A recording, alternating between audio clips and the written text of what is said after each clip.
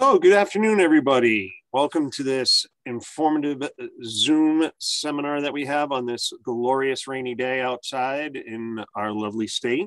Uh, for those of you who do not know who I am, my name is Chris Caulfield. I am the event director for the Waterbury Regional Chamber. And today we are going to bring you, we are welcoming you to navigating the new business landscape, cybersecurity and identity theft after 2020. We are joined today by Justin Golden of Golden Technology Services and Delano Paul of Legal Shield live from the Waterbury Regional Chamber boardroom. We're also joined by Bill Becker of B Squared Intel via Zoom. If you have any questions during the presentation, please enter it in the chat below and the panel will answer the questions once their presentation is over. Now I'd like to turn it over to Bill Becker from B Squared Intel. So sit back and enjoy this informative seminar. Take it away, Bill. Good afternoon, everybody, and thank you for joining our seminar. Uh, just a little bit about who I am and what I do. Uh, my, my core competency is uh, pretty much public reconnaissance.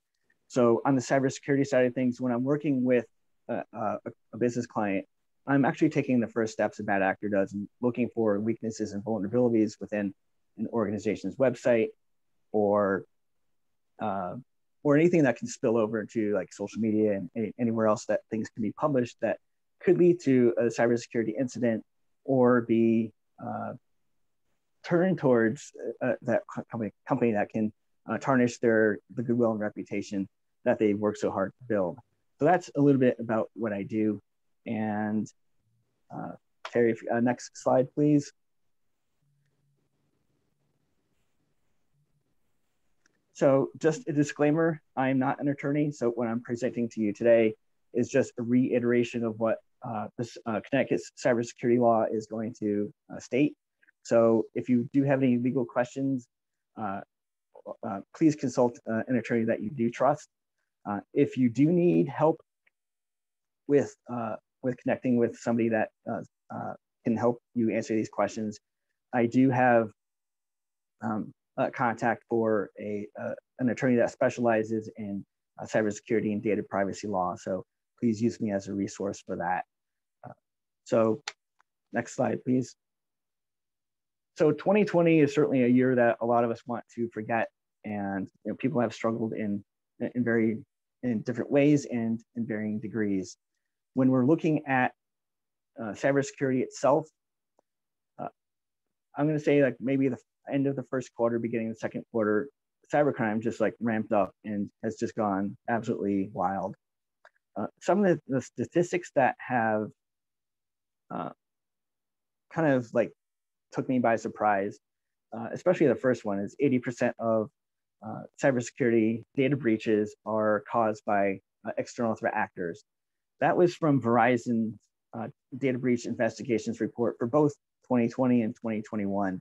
Uh, the trend is still uh, is still that way, and that kind of flipped the tr traditional threat model on its head, where traditionally roughly 80% come from in internal sources.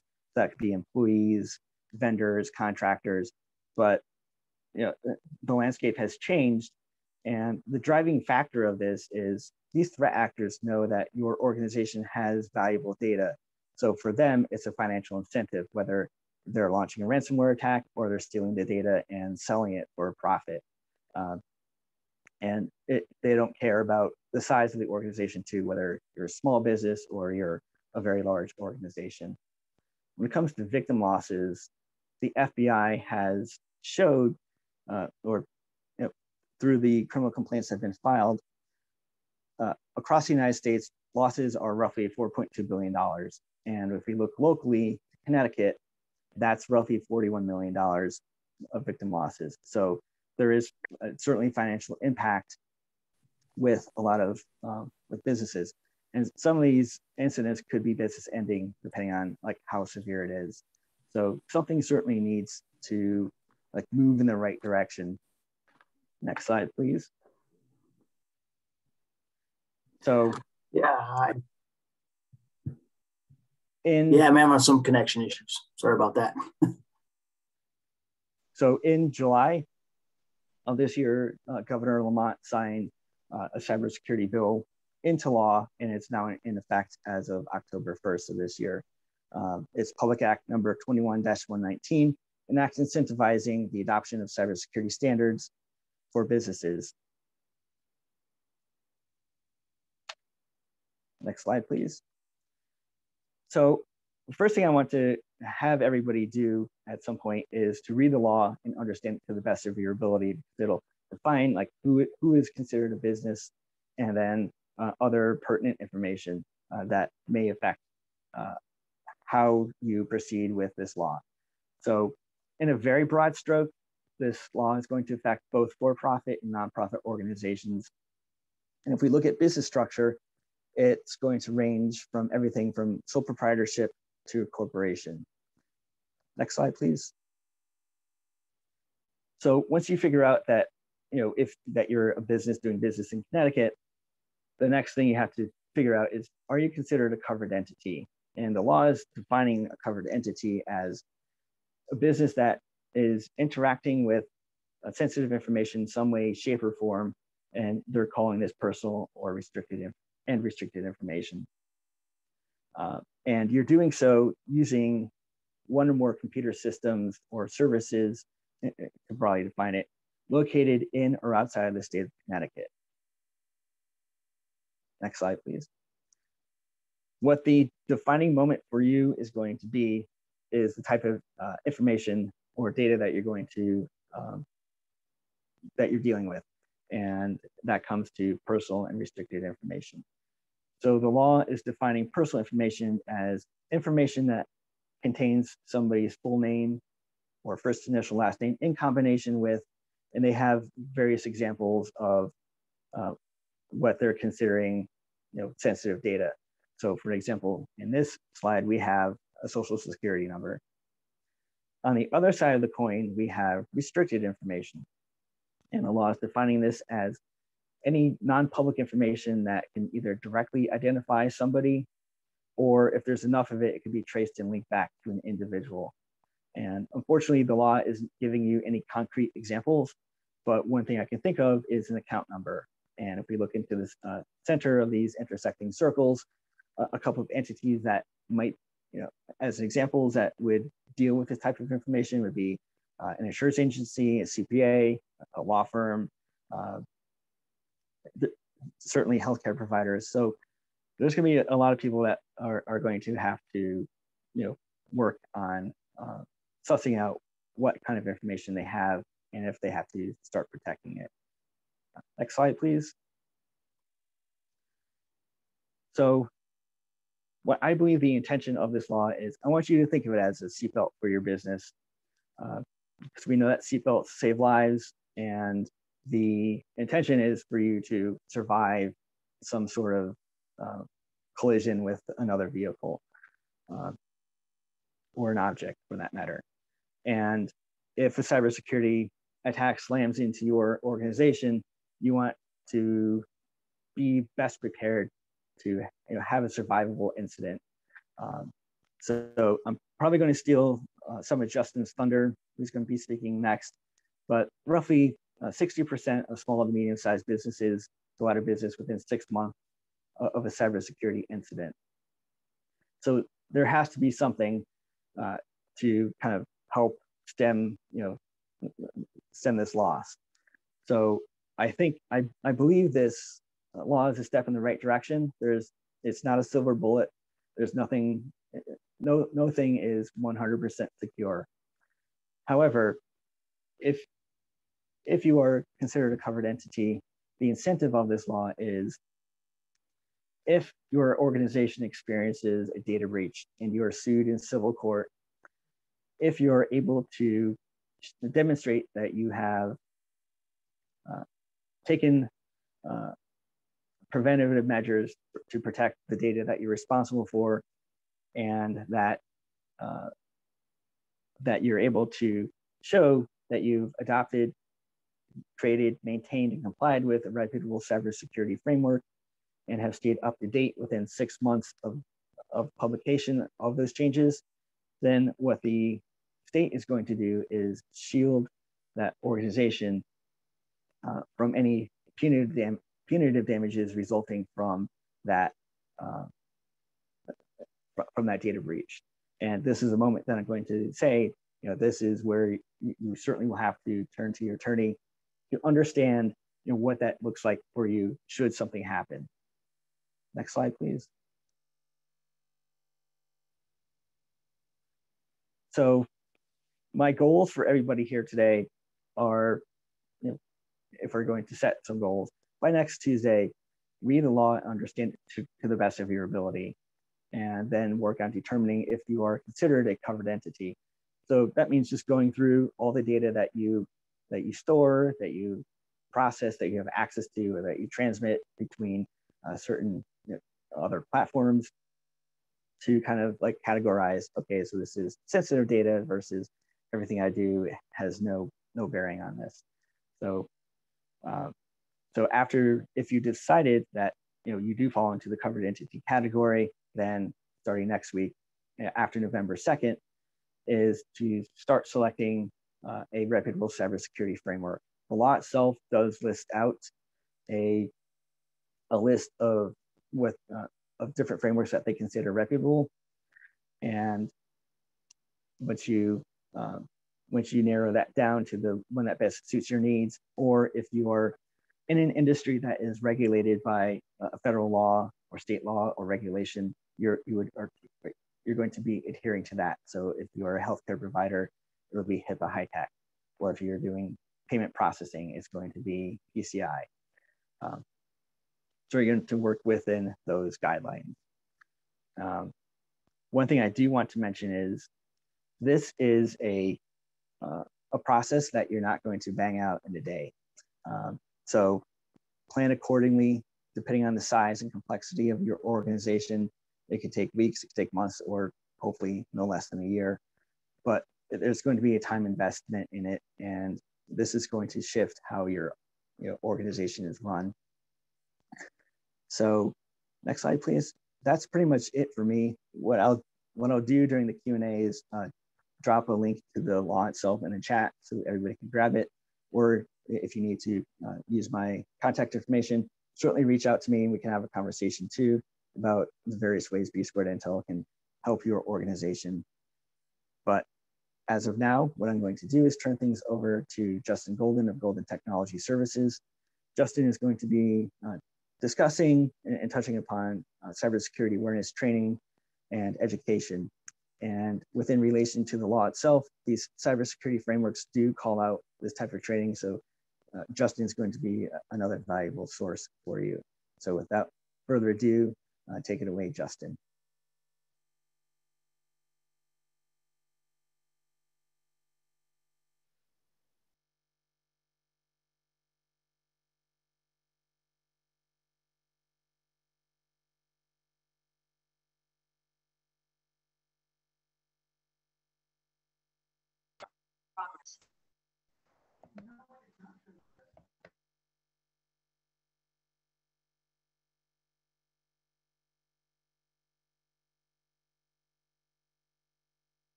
Sorry, folks, we seem to be having a little technical difficulty. Please uh, hang on with us for a moment.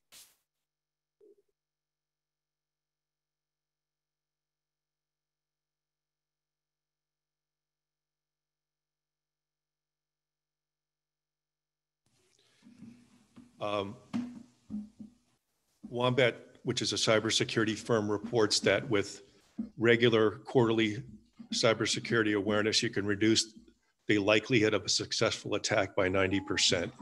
Next slide, please.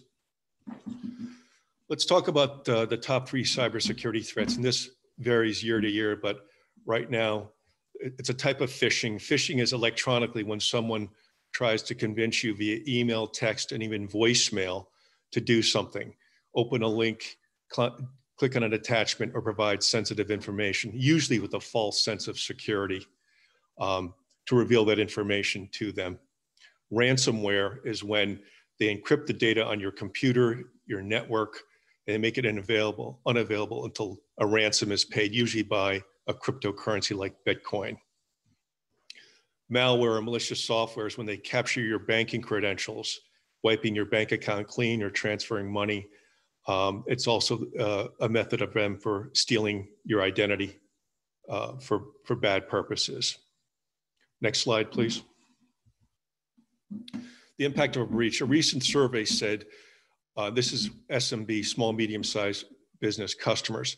22% uh, of them reported losing customers, meaning someone who finds out about a, a breach, whether in the newspaper, on the radio, or television, uh, will no longer do business with you. 23% uh, represent lost opportunities. So you may have been working on a prospect or a suspect for a while and you're close to closing some business. And then almost a third represented significant lost revenue as a result of this, this data breach being revealed. Next slide, please. Here's some sobering statistics. Um, the FBI reports that uh, um, internet crime, the most common one, over 50%, is phishing. So since 2020, since the pandemic began, um, the, the crimes that are being reported to the FBI are, uh, the majority are phishing attempts, successful or just attempts. 60% um, of small, medium-sized businesses are forced out of business within six months of a data breach. 93% uh, malware or malicious software is delivered via email. 77% of cyber crimes target small, medium-sized businesses.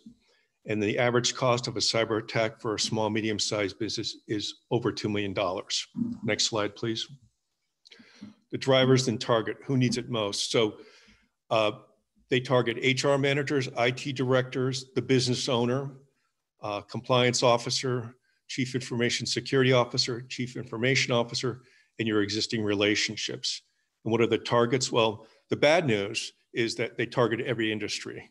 Uh, right now, the top industries that are being hacked successfully, not saying attempted, but hacked successfully are healthcare, financial services, um, law enforcement, legal, retail, manufacturing, SMB. And these industries vary year to year.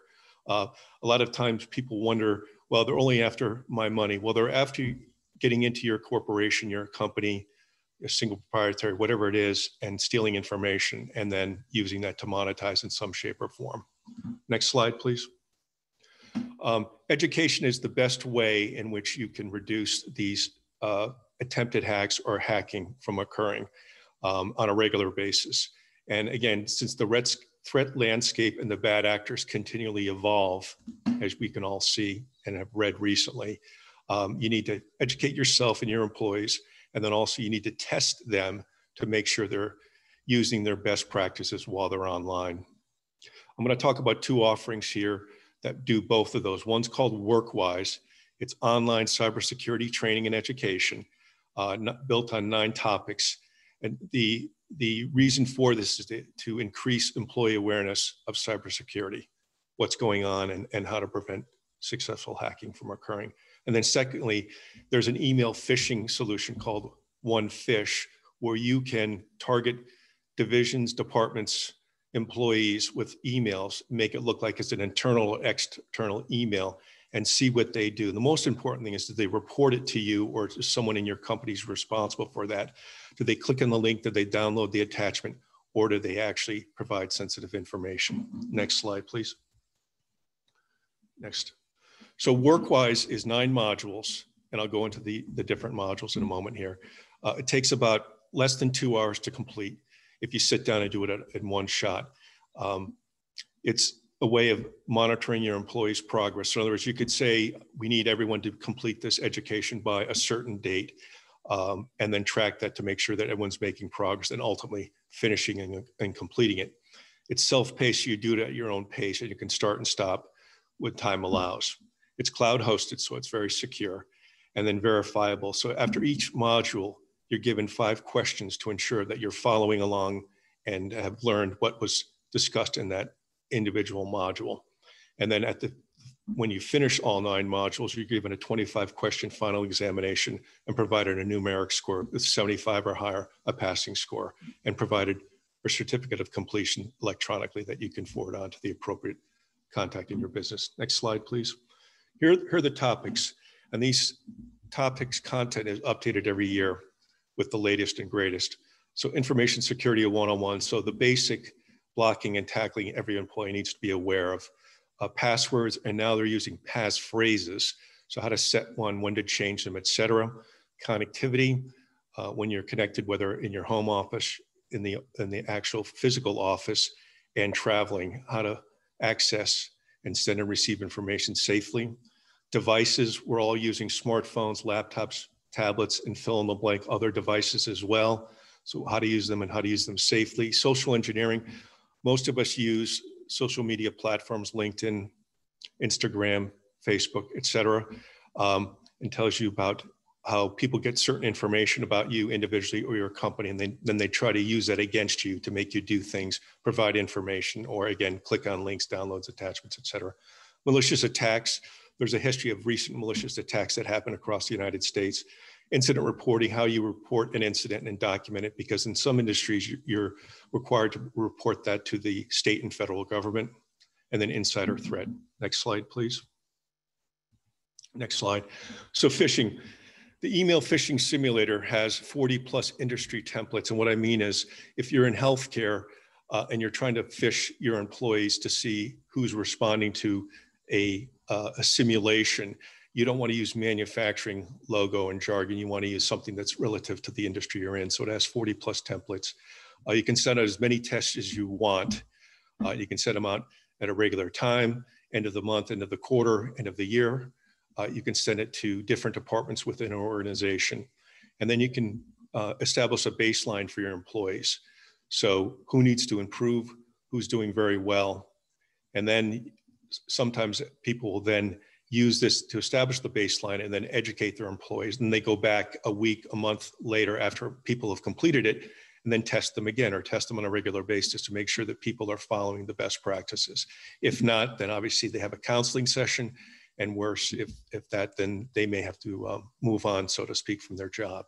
It provides high level company reports and detailed employee actions. I'll turn this over, batting cleanup here is Delano Paul from ID and Legal Shield. Delano. All right, thank you very much, Justin. Just a, a pleasure to uh, talk to you guys today and just uh, really go through some information. So I've been a trusted advisor with Legal Shield for the last uh, 15 years. Uh, it's been a true joy just be able to work and really be a blessing to individuals and really help them out in terms of everything that's going on. And so I'm going to be, uh, as Justin said, I'm the pinch hitter, the one that brings it home. Uh, so let the first first thing I want to jump into is just the thing is just having an opportunity to show my family. So I just want to show the gang and uh, what's going on with them, just to give you an idea of it. So that's the gang right there. Uh, the individuals that why I do what I do, and and the individuals that keep me motivated every day in terms of just helping uh, with identity theft and just protecting against that. So I'm gonna make you uh, two promises. Promise number one is that I promise that uh, you're not going to fall asleep like this guy right here during my presentation. Uh, so that's my first promise. My second promise and my hope is that the information that I, I share with you, uh, I'll give you outer world, you know, space uh, experience so that you'll be just like blown away by it and just uh, tremendously grateful for it. So that's my that's the two promises. That's the two things I hope that I, I go through in terms of everything else. And so the thing about it is this, right? There's there's two there's two yous. So there's the database you and there's the you, the physical you, right? And it's kind of hard to prove that you are not you, even though you know you're you, right? That's confusing just in its essence. But it's a situation with identity theft what you're trying to prove is you're trying to prove that the person, the uh, database you, the one that's online, is not you. Uh, so all the information and everything that's happened there, are you trying to prove that that's not the person that actually did it? And and it's it's, it's a very difficult uh, situation to really get around and be able to take care of. And because our information is in all these different databases. And so even though we might be safe with our information, other people are not that safe without information. Uh, so it's a situation where uh, you uh, you might be really good in terms of all the different password protections, all the different things that you put in place, uh, but the individuals that have your information, like uh, the uh, like for instance the the drivers uh, authorities they, they've been hacked a, a, few dozen times. There's there's the healthcare the people that we do uh, have our insurances with and those things. And they might not be taking as good care without information as we are taking care in terms of our information. Uh, so we want to make sure that we have some sort of thing in place that uh, monitors and really makes sure that our information and the different things that we have is, is, is really protected in regards to that. Uh, so we want to make sure that you're doing this. And so when normally we think of identity theft, we think of just the financial arena. We just think of our credit cards that you know banks uh, protect that, and and and by law they they have up to, you have up to 60 days if you have a financial identity theft uh, to report it, and they'll give you back your entire money. Uh, but we're talking about the other areas of identity theft that we don't even think about. Uh, for instance, there's driver's license identity theft. Uh, so there's a situation where the DMV, uh, Norwalk, and and and, uh, had a situation where the individuals are selling our information with other people's pictures of it. Right. There's also Social Security. They had this uh, this big article where this woman uh, went for a job at Target and they said, "Ma'am, uh, we're sorry you can't we can't hire you because apparently you already work here." There were 37 people working under one Social Security, reporting taxes under her name. Now, the IRS know that you can't have 37 jobs, but guess what the IRS wants? They want the money from the 37 jobs that you have. And so those are some of the situations. The medical identity theft has been one of the biggest ones uh, lately just because of medical coverage and just all those different things that's going on with that. And it's the one that's potentially could could kill you. It's, a situation where if the wrong medical information or the wrong prescription is done, then it has a situation where it could be uh, seriously lethal and detrimental in terms of. Uh, so, you want to make sure that those things is also character criminal.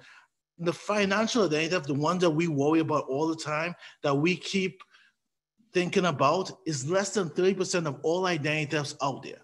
So there's all these different things. And what's going on, the two biggest ones that are coming on right now is unemployment benefits that we've seen a surge in 2020, just in terms of unemployment frauds and, and different things that are going on with that. And the other one is child identity theft.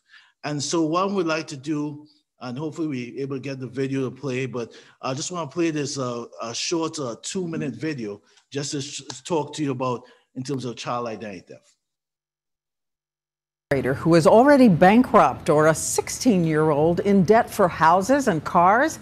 Thieves have a new target, and we learned tonight that one in 10 American children is the victim of identity theft. One in 10.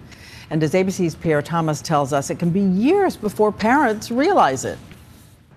Olivia McNamara was starting her freshman year at Vanderbilt University, and like so many 18 year olds, applying for her first credit card.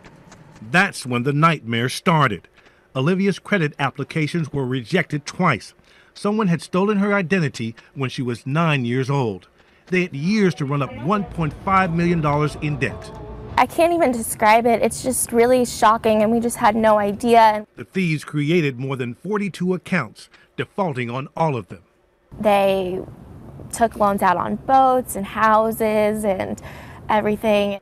Olivia's still working to clear her credit it may take her months, if not years, to start fresh.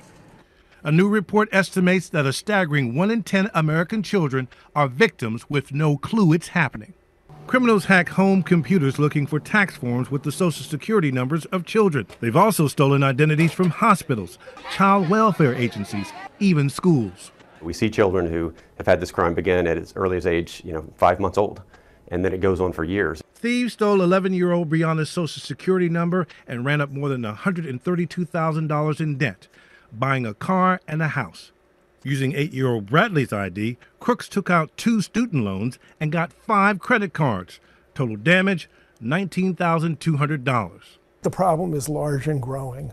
Um, and part of the problem is it's generally undetected and undetectable Undetected because thieves use false names and addresses repeatedly, simply opening new accounts after they default. So, what can parents do to protect their children? The most important thing tell your children never to give out their social security number without your permission, and make sure you check your child's credit periodically, no matter how young. I'm just happy that we caught it when I was 18 and not when I'm 22 and trying to get my own apartment.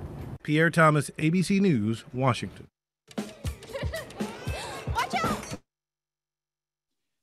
And so, I don't know about you guys, but it's a situation where when I send a now six-year-old uh, child to school, I don't check his his identity. It's not, it's not something that we really think about, like, hey, maybe I should check your identity. We think we worry about his lunch, we worry about um, making sure he gets to school on time, all those different things. And this is the type of identity theft that you know, just scares me the most in regards to everything that's going on there. And so let's talk about the different types of policies. So we talked about all the different things and, and the, the things and the threats of identity, but let's talk about the different policies that are in place in terms of identity. So where we at least understand uh, what we either have or we uh, are trying to get, right? Uh, so there's three types of policies basic policies. The first policy is the reimbursement policies, right? And with a reimbursement policy simply means that they will give you money in regards to the identity theft situation, which is great if it's a financial identity theft situation. Uh, getting back your money, that that that's a big thing in regards to that. Uh, the uh, second type of policy is what we call a resolution policy. And a resolution policy is just simply where the fraud investigators or the individuals that are monitoring your identity tell you that there's a alert and they tell you how to fix it. Now, I barely have time during a normal work week uh, to just do all the different things that I have to do. So I can't imagine also trying to fix my identity while managing all these different things that I have to do during the, those nine to five business hours. Because most of us work during those nine to five business hours. Guess what? Uh, the credit bureaus and all the different organizations that we have to contact, they're open from nine to five. So that's a resolution policy where they tell you how to fix it and they go and you go ahead and do it. With a restoration policy, uh, what happens is that they, the fraud investigators or the individuals actually take control of it and they fix it on your behalf. And so those are the three different types of policies. So you want to know which policy you have. So maybe you have some sort of fraud investigation, have some sort of stuff in place, but make sure you know what you have. So I'm gonna talk to you about what ID Shield product does and how that works. So just to give you an idea of that. So one of the things that the ID Shield product does, it does monitor list. And so we'll monitor as much information as you're comfortable having us monitor. And in some cases, we'll monitor more information than you thought that you needed to monitor. Like I didn't even think about uh, 401k accounts or monitoring those different things. But those are different things that they realize as, as, as fraud investigators, identity thieves are targeted. Uh, so you want to make sure that you monitor the full gamut in regards to the different things and making sure that you're aware of that. The second thing that's going to happen is just, um, so next slide, please is just the the having some sort of uh, you know password protection program or having something in place where it monitors or codes the information and, and, protects against that. So we have those things that that do that because we want to make sure that uh, we're protecting the privacy information protecting. So it's not only identity but also protecting your privacy and making sure those things are in place. And so uh, the next slide please is that we want to uh, make sure that uh, you have the privacy and the um, uh, reputation management in place. So we'll monitor like uh, what is your Facebook saying about you, what these different organizations saying about you. Uh, so we do those things as well. To me, the, the, the most important part of our product is the uh, is the next service that we actually offer, which is the restoration, right? And so what we'll do is we'll do, we'll do a million dollar service uh, guarantee where uh, if you have lost wages or you have to travel, you have to do different things, uh, we'll give you up to a million dollars in, in, in income um, for lost wages and those different things. But what they also do is they do restoration. That simply means that they'll go in there and restore your identity back to pre-theft status. Uh, so we had a member that actually had a situation where she was in the process of delivering her first child. She knew was her first child, but the medical records when she was doing her doctor's visits reflected it was going to be her second child. Apparently, someone had used her medical information, had a child in her name, and she didn't know anything about it. And so she just felt they're so distraught, taken advantage of. How could this happen to me? I never thought anything like this would ever happen to me. And it's a situation where she didn't know if the ID Shield product would actually help, but she said, listen, I have it uh, through my employer, why not use it? And so she was able to use it and they were able to restore her identity back to pre-theft status. So they did all the proactive research and everything else. And at that moment in time, she just had that peace of mind, knowing that she, if anything was to happen, that well, one, this this situation was taken care of, but anything was to happen in the future, that she will be um, taken care of as well. And so that's the thing with the ID Shield, you're able to have those things in place. Now we do different uh, discounts and uh, as a program. So you have like different discounts that we'll give. So we'll give discounts to all these different um, organizations uh, and those things. It's not the major things that uh, people get our service for, um, but it's a pretty good book, you know. And people always ask me, Delano, do you know all uh, 500 different discounts? And the answer is no. I just tell people tap into the app, look at the discounts. If you get a discount, pretty awesome. Uh, if you don't see the discount you're looking for, wait a little bit. We, we may add a couple other discounts. But those are the things in regards to that aspect of it. And so, um, next slide, please. It's just we. Also, this slide here is to remind me uh, that I'm supposed to do this elaborate sales presentation. So warning, elaborate sales presentation. Uh, so here it is, right? If you think that this is, is see a benefit in terms of protecting your family or no other individuals that protect their family in regards to identity theft, get access to it.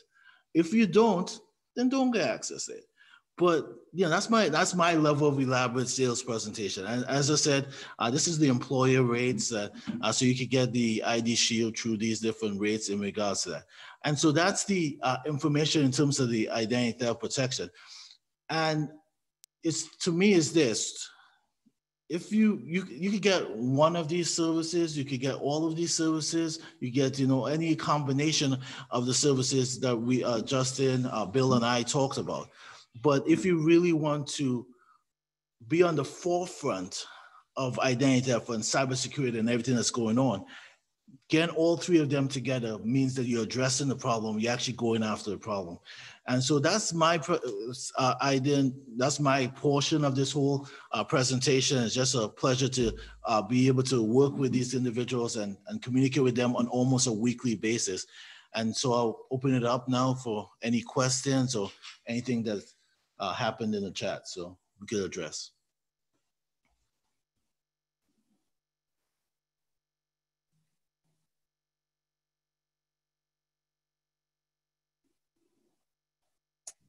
So don't forget everybody, if you have a question, just throw it right in the chat for our guests. I, I do have a question for Justin. Um, so with everything that is kind of like how things are evolving with things like ransomware and other like other tactics that like phishing like what do you recommend you know, organizations do to uh, as far as training like like you know what, what kind of steps do you recommend do you recommend they, they take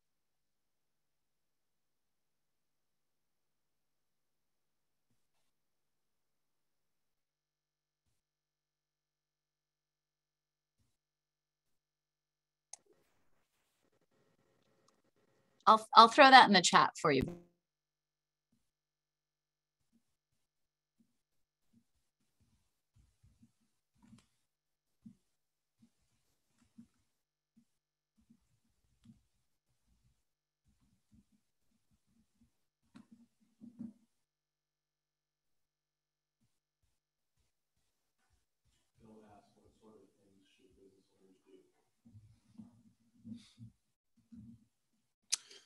Good question. Um, so what should business owners do? Um, find and use cyber awareness education, uh, make it a requirement, a condition uh, of employment on a yearly basis, uh, ensure the employees enroll and take it and have a passing grade uh, on a yearly basis because the threat actors and the threat landscape continue to change and you need to stay on top of it to reduce the likelihood of of a successful data breach or hack. Yeah, and just to add, um, the identity protection is a good way to just offer to employees uh, that type of uh, protection. Uh, normally, we do it as a payroll deduction. So uh, it's a voluntary benefit. So it's just a small amount that comes out the employee's check on a either bi-weekly or weekly basis to just how you have your payroll um, set up.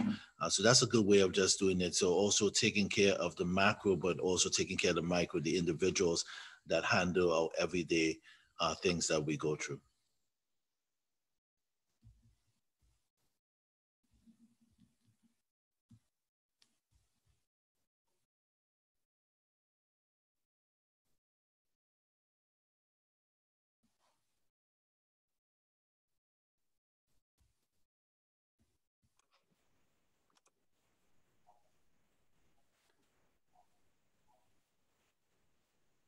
We have a question here in the chat from Cindy. Do you know the cost of WorkWise? The, uh, the content is updated on a yearly basis. Um, and it allows whoever's administering it to monitor employees that register and their completion and their, their numeric score that they're given.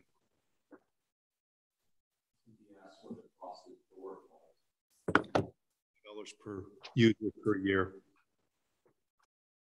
If there's a large organization, association, a business, uh, you know, 100 licenses or more, there, there'd be a volume discount we could offer. Less than the $25 per user per year.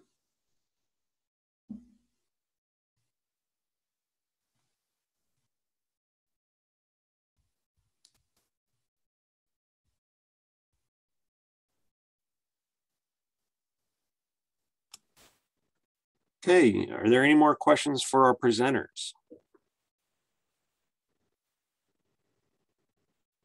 No? All right, well, I want to take this time to thank Justin Golden, Bill Becker, and Delano Paul for coming out today and presenting this great information about cybersecurity. Uh, don't forget, October is Cybersecurity Awareness Month. So again, thank you, gentlemen, for coming and presenting to presenting all this information to us. We appreciate it and have a great day. One of the things is this that there's so much things that's going on in the news, and the good thing about, um, especially if you offer it as a, a employee benefit, uh, we cover both pre-existing as well as um, situations as well as you know, future situations, so you don't have to worry about that aspect.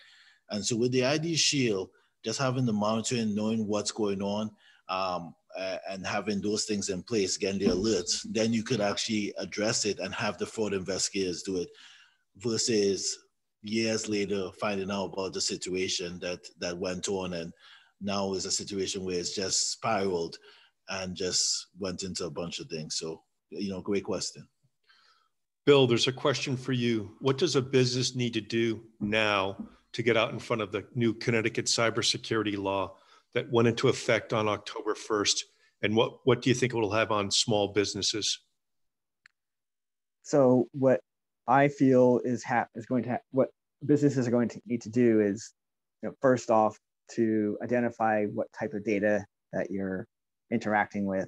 So that means like going through like the any storage that you're that you're housing it in, uh, communications that you're having back and forth, and classifying it as, hey, okay, so this is public data. So this is, if something were to happen, then if that was exposed, it's not that big of a deal. So public data, I mean like a flyer or some sort of event that you're promoting. Then you have stuff like internal, like an internal classification. So that's on, information that only you and your employees will have access to. And then you have sensitive data, which is is going to be very uh, limited and the most protected stuff, so like social security, uh, credit card information, payment information, things of that nature. So you want to like inventory, like every, like first step is to like inventory everything. So your like the hardware that you have, the software that you have running on the hardware, or services you know services that you uh, use, whether it's uh, something that uh, license that you purchased and it's stalled on site or if you're using something in the cloud. So it's kind of like breaking down uh, things down by inventory and running policies uh, and procedures to uh, un, un, to make sure that things are functioning correctly. So as an example, do you have a backup? How often are you running a backup? What is, you know, how long is it going to take to restore a backup of say like five gigs or more? Because you want to make sure that you have things up and running rather quickly. And when it comes to the effect on small businesses, there's there is going to be some sort of like budgetary constraints. So there is there is software out there that is like um, that you can software and tools that are are are budget friendly for your organization. Um, so, for example, in, in the past, I've worked with tools that you know cost like a hundred thousand dollars a year for a license, where you know one tool uh, that can do something similar is you know maybe three hundred dollars a year per license. So it's it's a matter of looking for those resources, like and, and you know talking to different vendors to see what is going to work within your budget to uh, get your uh, get your security measures in place that uh, you can you know that you have some breathing room for, for your budget.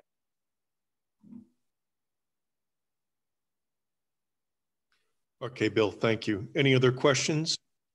Um, I know that uh, one one thing came through um, through email about the uh, chamber perks, and that's going on this month, and what we uh, had planned for that. So I don't know if you want to elaborate on that, Justin. Yeah, um, Bill Becker from Beat Squared Intel, myself from Golden Technology Services, and Delano from ID Legal Shield. We're offering a ch member chamber perk, and it's a um, three offerings rolled into one, or you can do an a la carte. We recommend all three, but all of them are available now.